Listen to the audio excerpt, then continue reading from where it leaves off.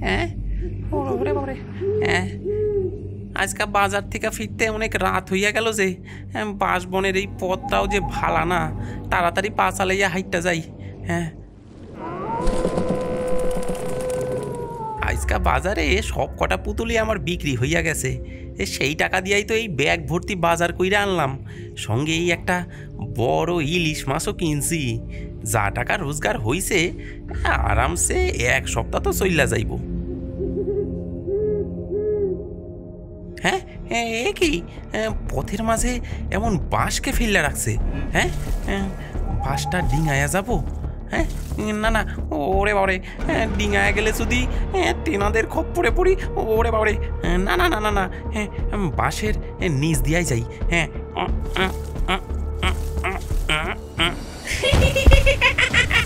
কি হইতেছে গো কি এটা কি হইতেছে বাঁচাও বাঁচাও বাঁচাও বাঁচাও কে কে কোথায় আছো বাঁচাও ভূত ভূত ভূত ভূত এবার কোথায় যাবি আমরা তো তোর জন্যই অপেক্ষা করছিলাম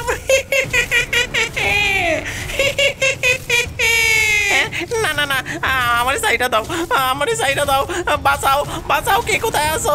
কে কোথায় আছো? আমারে বাঁচাও! তারপর? তারপর কি হলো? হ্যাঁ তারপর? এখানে তোকে কেউ বাঁচাতে আসবে না। এখন এখন থেকে তুই আমাদের মতনই হয়ে যাবি।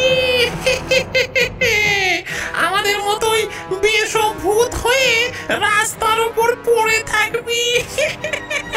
না না না আমার সাইডে দাও। না না না না। তারপরেই তো আমি অজ্ঞান হইয়া সেইখানে পইরা যাই। ভোরবেলায় যখন জ্ঞান ফেরে তখন সুইটটা এই বট তলায় চলে আসি। তারপর তো সবই জানো তোমরা। গ্রামের পুতুল বিক্রেতা পটলা কাল রাতে তার ভূত দর্শনের ঘটনা আমাদেরকে সবিস্তারে জানালো। কাল রাতে তুই খুব বাঁচান বেঁচে গেছিস। কদিন ধরে আমাদের গ্রামে ভূতেদের উপদ্রব খুব বেড়েছে। বিশেষ করে ওই বাসবনের দিকটায়। আধার রাতে তারা কোনো পথচারীকে একা দেখলেই তাকে একদম নাস্তানাবুদ করে ছাড়ছে। ওই পথ দিয়ে একা ফিরছ কি মরেছ? বাসবনের পথ দিয়ে কেউ একা গেলেই ভূত পেতনিরা তাকে ধরবেই ধরবে। ওরা এক নতুন ফন্দি বের করেছে। কীরকম ফন্দি? ওই যে বাঁশবনের রাস্তায় যে কটা বাঁশ রাস্তার উপর হেলে আছে পেতনিগুলো তো তার উপরেই ঘাপটি মেরে বসে থাকে।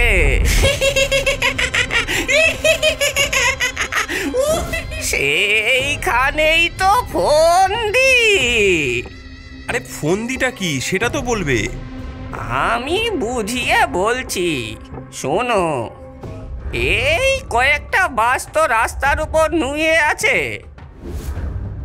হ্যাঁ আছে। এবার পথচারীকে সেই রাস্তা দিয়ে আসতে হলে হয় বাসটাকে উঁচু করে তুলে নিচ দিয়ে গলে আসতে হবে। নয়তো নিচের দিকে চেপে ধরে ডিঙিয়ে আসতে হবে।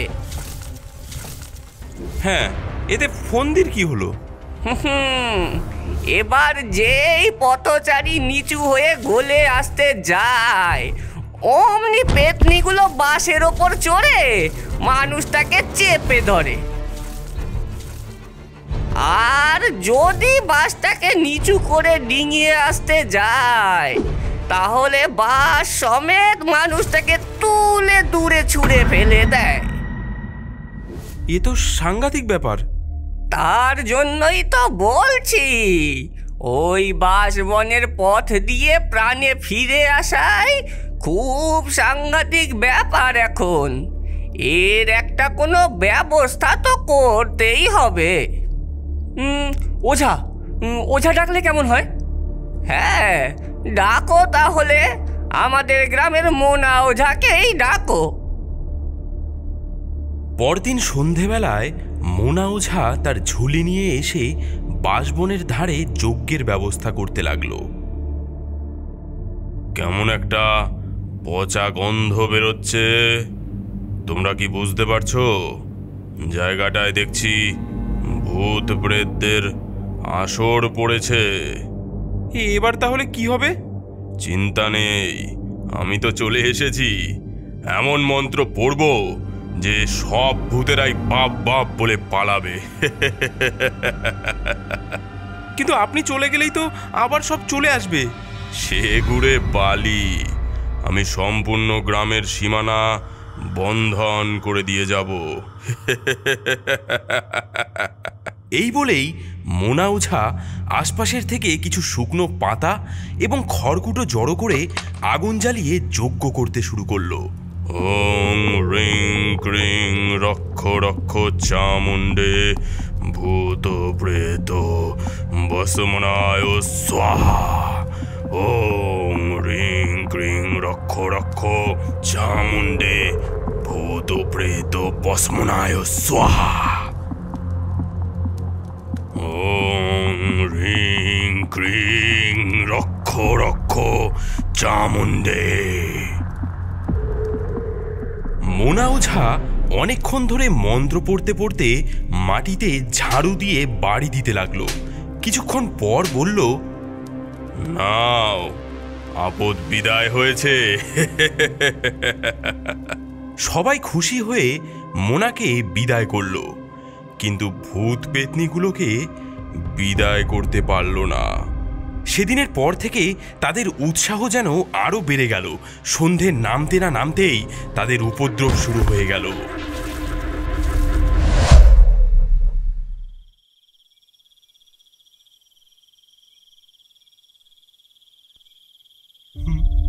রাম রাম রাম রাম রাম রাম রাম রাম রাম রাম রাম রাম রাম রাম এই এই মাস বোনটা তাড়াতাড়ি পেরিয়ে যেতে পারলে বাঁচি ওরে বাবা সঙ্গে আবার এতগুলো টাকা। হ্যাঁ হ্যাঁ এই রে এই বাঁশগুলো এমনভাবে হেলে আছে কেন এগুলো আবার বেশক ভূতের কাজ নয় তো হ্যাঁ ওরে বাবরে হ্যাঁ, রাম রাম রাম রাম রাম রাম রাম এই মাঝরাতে আমার বাসবন দিয়ে কে যায় রে? হ্যাঁ? আমি আমি সনাতন। তুমি কে? হ্যাঁ? আমি হলাম বাসবনের রাজা। বিষভূত হ্যাঁ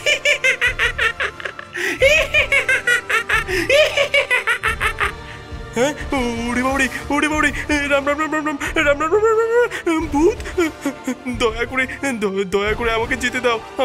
আমি তো কারও ক্ষতি করিনি। আমি বাড়ি ফিরছি।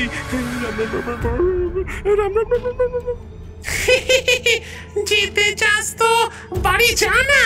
কে তোকে আটকে রেখেছে? তারপর? তারপর কি হলো? তারপর আমি মনে মনে ভাবছি। সামনে একটা বাস পথের উপর পড়ে আছে। এটা যদি ভূতেদের কোনো চাল হয়, যদি বাঁশের নিচ দিয়ে গেলেই ভূতরা ভূতরা যদি আমাকে চেপে ধরে আর ডিঙিয়ে গেলেও তো রক্ষে নেই, বাঁশ শুদ্ধ আমাকে ছুঁড়ে ফেলে দেবে। কিন্তু না গিয়েও তো উপায় নেই। ওই রাতে সেখান থেকে আমি পালাতে পারলে বাঁচি। তাই তাই আর বেশি না ভেবে সেই বাঁশটা ডিঙিয়েই আসতে লাগলাম।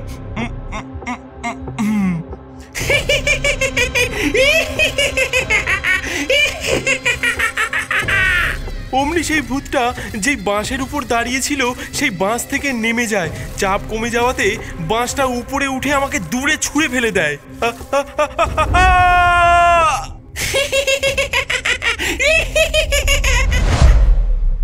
তারপর?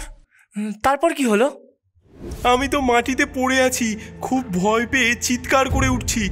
দেখি, একটা সাদা চাদর গায়ে দেওয়া ভূত এসে আমার বুকের ওপর বসেছে। আমার সারা গায়ে হাত বোলাচ্ছে। আমি ভয়ে আবার চিৎকার করে উঠি। কিন্তু উঠে দেখি কিচ্ছু নেই। তারপর তো সেখান থেকে ছুটতে ছুটতে এখানে আসি। হ্যাঁ। ওঝা দিয়ে তো ভূত তাড়ানো গেল না। এবার কি করা যায়? এবার তাহলে গোয়েন্দা টাকা হোক আমাদের হাবু গোয়েন্দা। গোয়েন্দা তারাবে ভূত।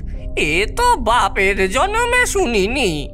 হাবু গোয়েন্দা খবর পেয়ে ব্যাপারটা অনুসন্ধান করতে আসলো। আপনাদের মধ্যে কে কে ভূতের খপ্পরে পড়েছেন? যারা যারা বাঁশবনে ভূতের খপ্পরে পড়েছিল, হাবু গোয়েন্দা তাদের থেকে তাদের সাথে কি হয়েছিল তা সম্পূর্ণ বিবরণ জেনে নিল। আচ্ছা পটলা, তুমি যখন রাতে বাজার করে ফিরছিলে, তারপর তোমাকে ভূতে ধরলো। তুমি অজ্ঞান হয়ে গেলে। সকালে যখন উঠলে সঙ্গে তোমার বাজারের ব্যাগটা কি ছিল? আপনি ব্যাগের কথা কইতেছেন তখন আমি প্রাণ নিয়ে বাইচা ফিরতে পারলে বাঁচি। বাজারের ব্যাগের কথা কি থোড়ি মনে ছিল? কিন্তু যতদূর মনে পড়ে না বাজারের ব্যাগটা ছিল না সঙ্গে। আচ্ছা এবার আপনি সনাতনবাবু আপনি যখন সোনার দোকান বন্ধ করে দোকানের টাকা নিয়ে বাড়ি ফিরছিলেন পথে আপনাকে ভূতে ধরে। এবং সেই ভূত আপনার গায়ের উপর হাত বুলায়। ভূত চলে যাওয়ার পর কি আপনার টাকার থলিটা সঙ্গে ছিল? আরে না গোবিন্দাবাবু ভূতে যে টাকাও চুরি করে, সেটা তো আমি জানতামই না। সোনার দোকানটা যে আমার জ্যাঠামশাইয়ের, আমার জ্যাঠামশাই তো ধরেই বসে আছেন যে ওই টাকাটা ভূতের নাম করে আমি নিজেই চুরি করেছি। না, ভূত চলে যাওয়ার পর সেদিন আমার সঙ্গে ওই টাকার থলিটা ছিল না। জিজ্ঞাসাবাদ শেষ করে হাবু গোয়েন্দা বাঁশঝাড়ের কাছে গেল। সেখানে নুয়ে পড়া বাঁশগুলোকে ভালো করে পরীক্ষা করে দেখতে লাগল। আশেপাশের জঙ্গলে কিছু একটা খোঁজাখুঁজি করল। তারপর বলল না কিছুই তো বুঝতে পারছি না। তারপর থেকে কয়েকদিন হাবু গোয়েন্দা রাতের বেলাতেও হাতে টর্চ নিয়ে বাঁশঝাড়ের কাছাকাছি ঘোরাঘুরি করতে লাগল। সেই কদিন আর ভূতের উপদ্রব দেখা গেল না। কি হাবু বাবু ভূতের কি কোনো কিনারা করতে পারলেন? না কিছুই বুঝতে পারছি না। এ আমার দ্বারা হবে না। আমি চললাম। আপনারা অন্য কাউকে ডাকুন। এই বলে হাবু গোয়েন্দা সেখান থেকে চলে গেল। হাবু চলে যাওয়ার সেই রাতেই গায়ের চুরি বিক্রেতা নয়ন ভূতের হাতে নাকাল হলো।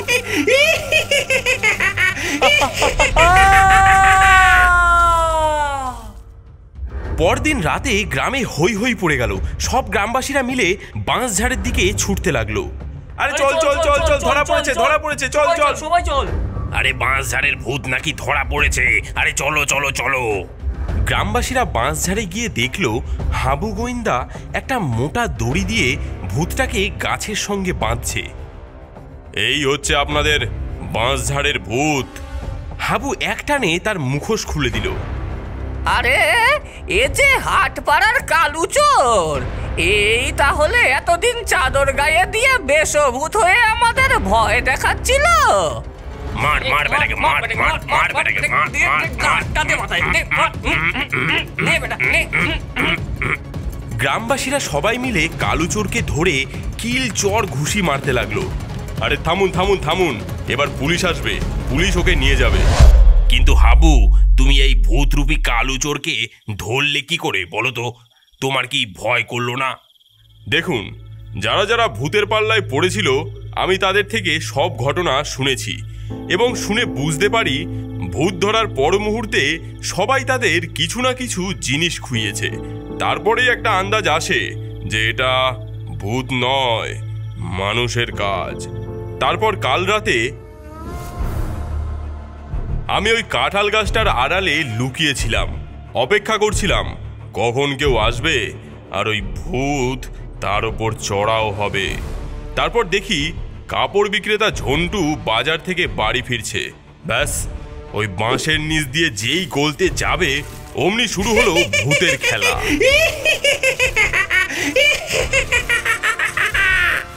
আমি অমনি দৌড়ে গিয়ে একদম ভূতকে জাপটে ধরলাম। ভূত বাবাজি তো এমন হবে তা ভাবতেই পারিনি।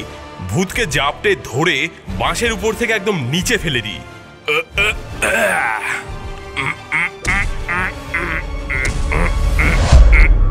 জিম করা চেহারা, আমার সাথে কি আর ওই ভূত পেরে ওঠে? দুটো কিলচর খেতেই কাবু হয়ে গেল। তারপর ওকে গাছের সঙ্গে বাঁধছি, তারপর তো আপনারা চলেই আসলেন। বন্ধুরা, এমন ভূতের গল্প দেখতে হলে ক্ষীরের পুতুল ইউটিউব চ্যানেলটিকে কিন্তু সাবস্ক্রাইব করতে হবে।